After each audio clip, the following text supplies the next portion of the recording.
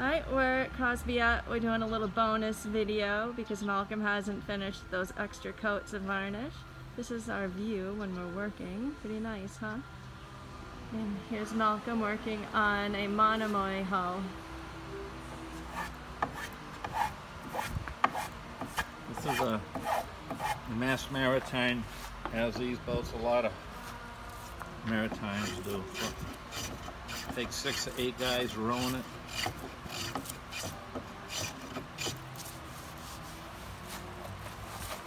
What's call down when the boats um, have two, I guess you could say pointy ends, the bow and the stern? What is that called? I know, it's just call a double ender. Double ender? Yeah.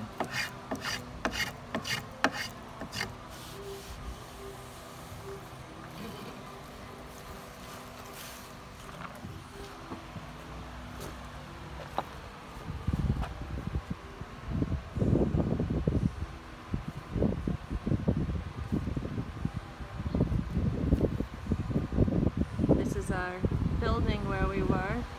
You can see it's really big. And in the winter, see through here, it's even bigger.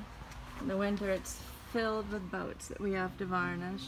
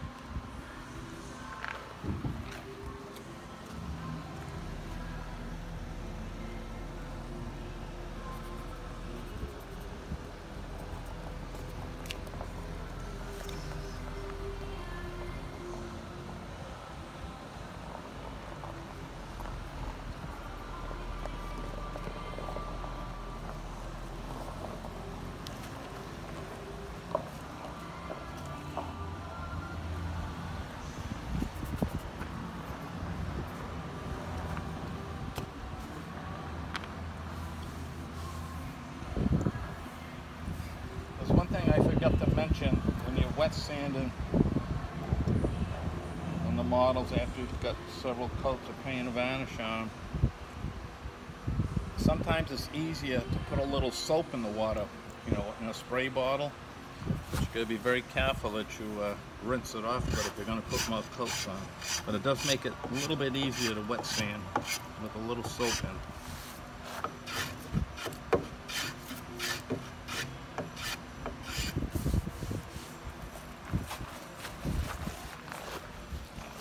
On a model like this, you get halfway, you have to plane this way, then when you turn around, you gotta plane this way.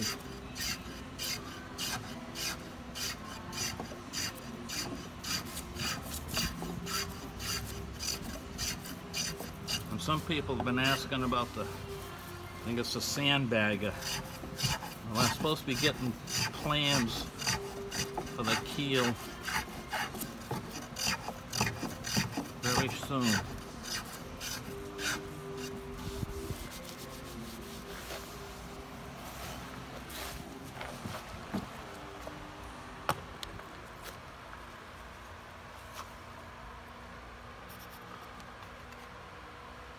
Now, how are you planning on finishing this? Well, it's up to Greg Egan, probably. I, I don't know. This is going to be a trophy.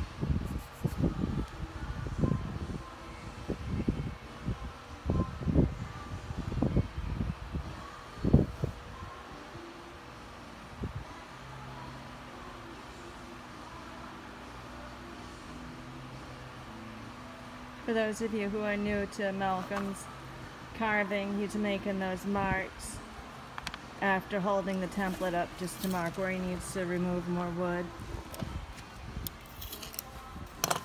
And if you are new to Malcolm's half hull videos, we have lots more here on YouTube. But not of the Monomoy, this is extra. There are videos of half hulls of catboats.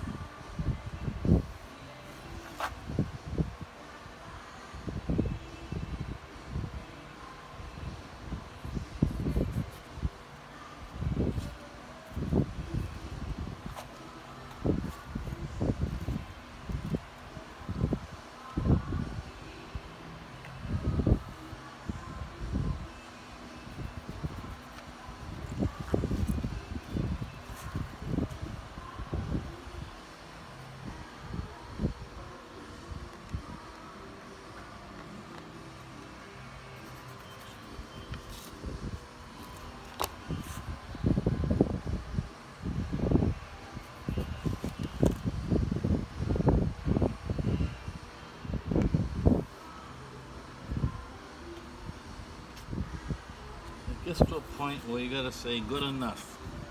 Because a good heavy sanding, especially with a block or a Festool like I use a lot, will take out a lot of hard spots. When you're sanding with a Festool and you're removing a decent amount of wood, you keep using the templates as you're sanding No. to make sure you don't go too far? No? Um, Once I start sanding, I'm done with the templates. Okay.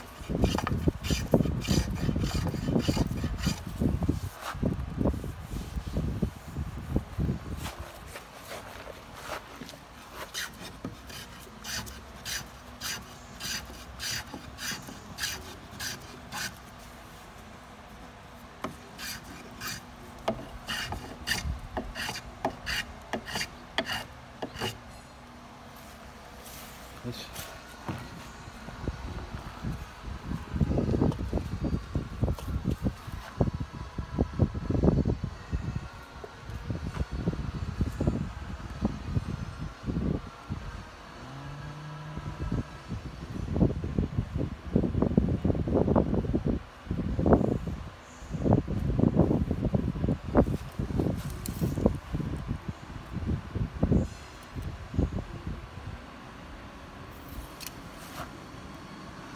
Why don't you explain about those numbers on your templates? well, I got them all from a set of plans, but it's easy to get mixed up, which I do quite often. Well, you have them numbered 1 through 8, and well, then there's so much. I measure from the stern forward, and then each station on the plans has a number, like one through ten or fifteen, depending on the size. and then you have like 10 and 1 8 from stern. The FS is from stern Yeah. for number 6.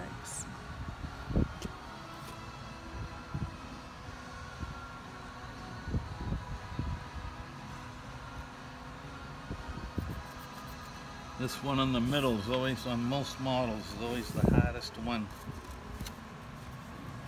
to get right. Uh, takes the longest. As I said, at some point you just got to stop, sandpaper take care of it.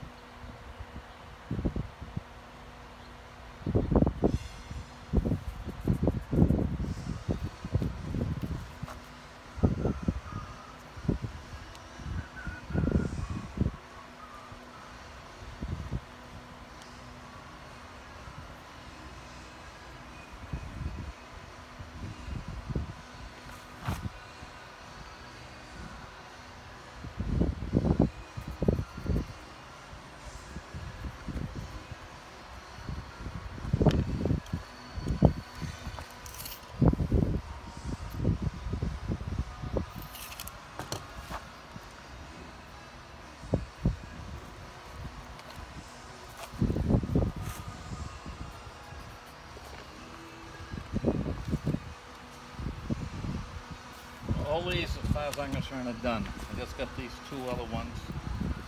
And I'm about ready to say they're good enough. A little bit more right there.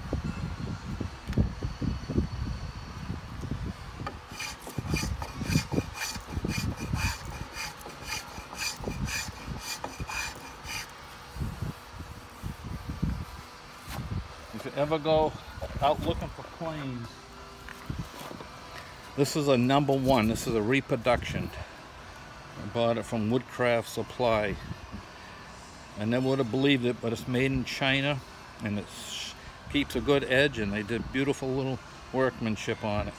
But if you can find an original Stanley number one, it would probably be worth thousands of dollars. Wow, so if you find one for This For is a grab it. this is a number two. This is not a Stanley, but Stanley makes them.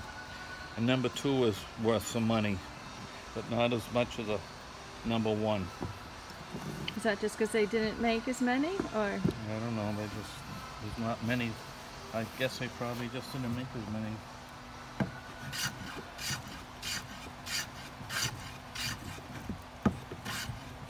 But a number one plane is a nice little plane.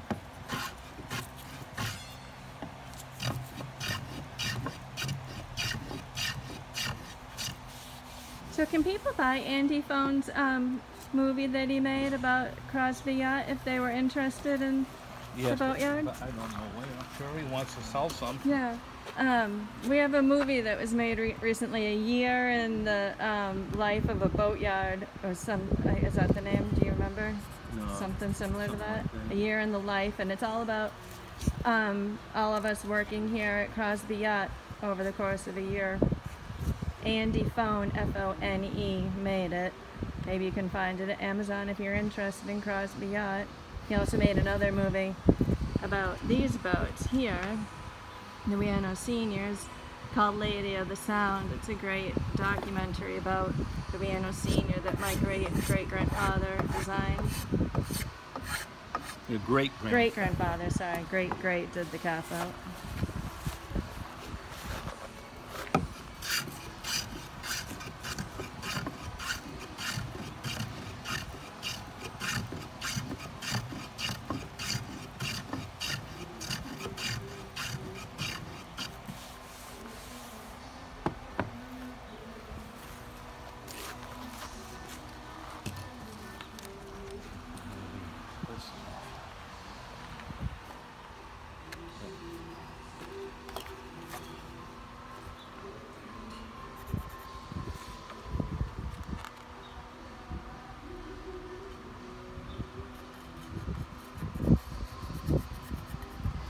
Sometimes you can't go by the templates 100% of you have to always go by feeling it. This is a, usually on any round bilge boat, cat boat, a senior, or any other round bilge. When I do this in the middle is the last one. And I'm just about done on this. I don't want to make it hollow, even though the template shows a little bit more to take.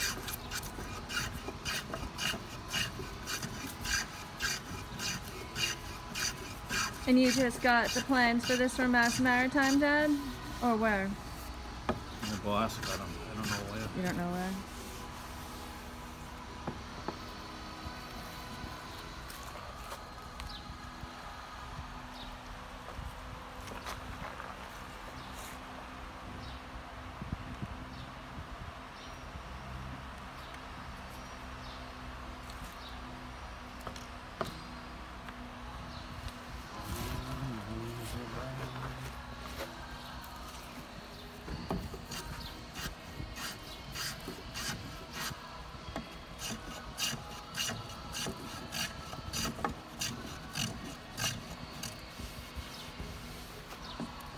A lot of times, I believe you can get plans in the wooden boat catalog. I've seen them for different Oh. boats.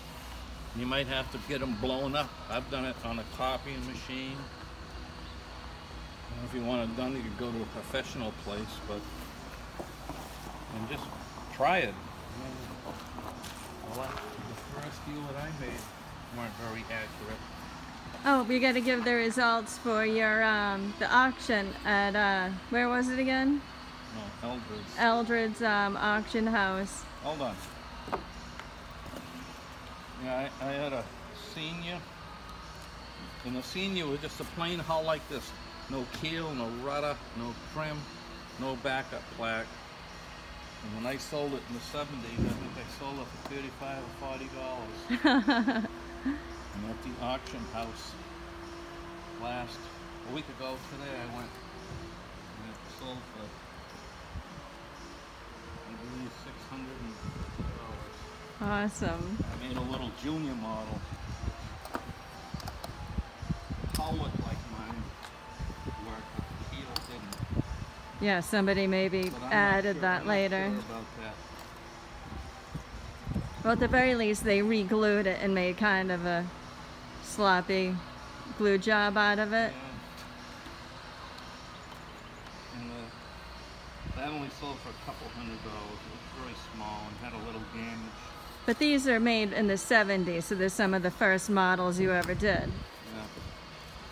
Yeah. They go for a lot more than that now. And After